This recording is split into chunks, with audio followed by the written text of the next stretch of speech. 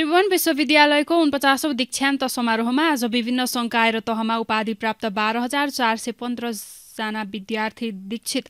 त्रिपुरेश्वर स्थित दशरथ रङ्गशालामा भएको समारोहमा राष्ट्रपति रामचन्द्र पौडेलको उपस्थितिमा प्रधानमन्त्री एवं कुलपति पुष्पकमल दाहाल प्रचण्डबाट विद्यार्थीहरू दीक्षित। त्रिवीको एकसठीौँ ग्रेस लिस्टमा परेका चौरात्तर हजार सात सय उनपचास विद्यार्थी मध्ये यसपटक बाह्र हजार चार सय पन्ध्रजनाले दीक्षान्त समारोहमा सहभागिताका लागि आवेदन दिएको र निवेदन दिएका मध्ये स्नातक तहतर्फ आठ हजार अन्ठानब्बेजना स्नातकोत्तर तह बाट चार हजार एक सय चार एमफिलतर्फ चौवालिस तथा विद्यावारिधीतर्फ एक सय बाह्र विद्यार्थी दीक्षित। त्रिभुवन विश्वविद्यालयको उनपचासौँ दीक्षान्त समारोहमा बन्यो विश्व रेकर्ड अफिसियल वर्ल्ड रेकर्ड नामक संस्थाद्वारा छब्बिस हजारभन्दा बढी मानिसको भौतिक उपस्थितिमा दीक्षान्त समारोह सम्पन्न गरेको भन्दै त्रिवीलाई विश्व रेकर्डको प्रमाणपत्र प्रदान। धेरै विद्यार्थीलाई एकैपटक दीक्षित गराउने दावीसहित त्रिवीले रेकर्डका लागि उक्त संस्थालाई अनुरोध गरेपछि अवलोकन गर्न संस्थाका प्रतिनिधि टोली काठमाडौँ आएर उक्त रेकर्डको प्रमाणपत्र प्राप्त भएको त्रिवीद्वारा जानकारी। आफूले गरेको काममा सङ्घ र प्रदेश सरकारले अवरोध गरेको काठमाडौँ महानगरपालिकाका प्रमुख बालेन शाहको गुनासो सोमबार ललितपुर महानगरपालिकाको स्थापना दिवसको अवसरमा ललितपुरमा आयोजित समारोहमा बोल्दै काठमाडौँ उपत्यकाका फोहोर व्यवस्थापनका लागि कानूनी अडचन रहेको भन्दै त्यस विषयमा सङ्घ सरकारले कुनै पहल नगरेको आरोप। केही काम गर्न खोज्दा मुद्दा हाल्ने र पाँचदेखि एक घण्टामा हुने काम पनि सङ्घ सरकारले नगरेको गुनासो। सङ्घ र प्रदेशले गर्ने काम स्थानीय सरकारले गर्दा खुसी हुनुपर्नेमा झन अल्झाउने काम गरिरहेको उल्लेख। काठमाडौँ उपत्यकालाई सफा र विकसित गर्न सबै स्थानीय तहबीच सहकार्य आवश्यक भएको भनाई।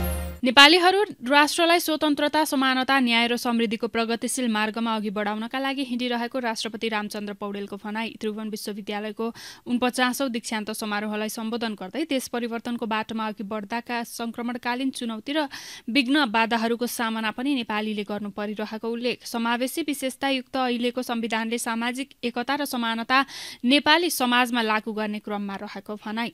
राष्ट्र निर्माण र राष्ट्र समृद्धिका लागि उच्च शिक्षाको जननीका रूपमा विश्वविद्यालय जस्तो प्राज्ञिक संस्थाहरूको अहम भूमिका रहने कुरा निर्विवाद रहेको बताउँदै कुनै पनि राष्ट्रको समृद्धि त्यहाँको प्राकृतिक स्रोतमा मात्र निर्भर नभई त्यसको समुचित परिचालनका लागि आवश्यक ज्ञान सिप प्रविधिको विकास र प्राप्तिमा निर्भर पर्ने उल्लेख।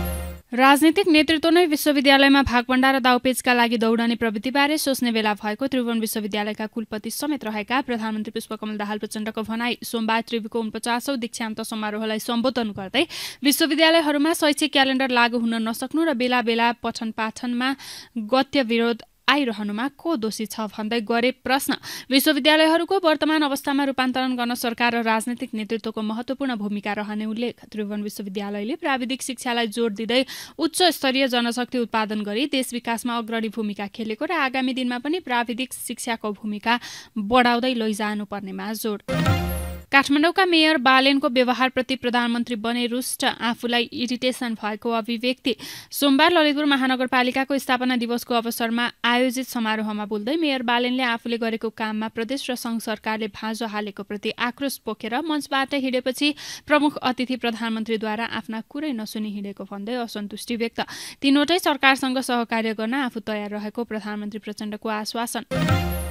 हार्ने पक्षको चित्त बुझाउन गाह्रो भएको सर्वोच्च अदालतको न्यायाधीश पदमा नियुक्तिका लागि न्याय परिषदबाट सिफारिस भएका न्यायाधीश सुनिल पोखरेलको भनाई आफ्नो हातबाट अन्याय हुन नदिने प्रतिबद्धता कानून व्यवसायीलाई भ्याटमा जानुपर्ने बाध्यताले पछिल्लो समय न्याय महँगो भएको जिकिर।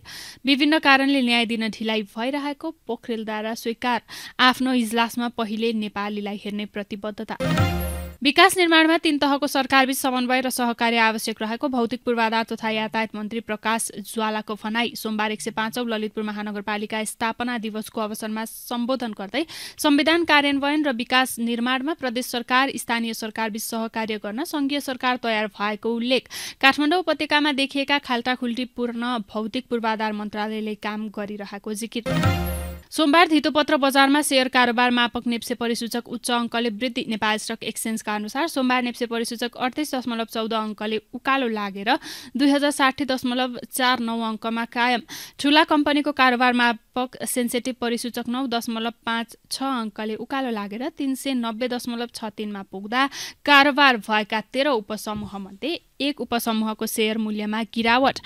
बाँकी बाह्र समूहको सेयर मूल्यमा वृद्धि सोमबार कुल दुई करोड चौध लाख सत्र हजार छ सय उन्नाइस किता सेयर किनबेच हुँदा रु छ अर्ब छयासी करोड एकासी लाख सतहत्तर हजार पाँच सय छयासी मूल्य बराबरको कारोबार।